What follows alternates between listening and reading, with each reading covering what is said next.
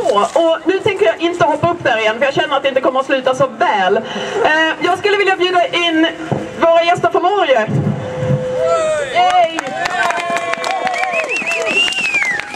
Så jag lämnar Geir som är, vad ska man säga, en toppdag för det norska partiet. Varsågod.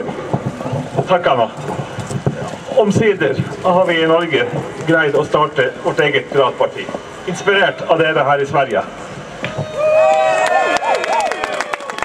September i år så er det stortingsvalg i Norge. Da skal det norske piratpartiet stille til valg i alle fylkene i Norge, og vi skal gjøre vårt beste for å kapre flest mulig mandater på Stortinget.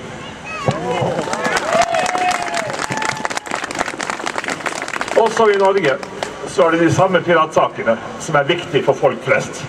Det er fri fildeling, det er lettere tilgang til digital kultur lastet ned hjemme i stua. Det er ytringsfrihet, det er frihet fra sensur, og det er rett til bredbånd til alle husstander på lik linje med elektrisitet og vann. For her ligger vi langt bak dere i Sverige, som på så mange andre områder. Jeg vil takke Rik og Anna og alle dere svenske pirater. Og jeg vil si takk til Pirate Bay for at dere er her, at dere gir oss kultur. Dere har vært en enorm inspirasjon.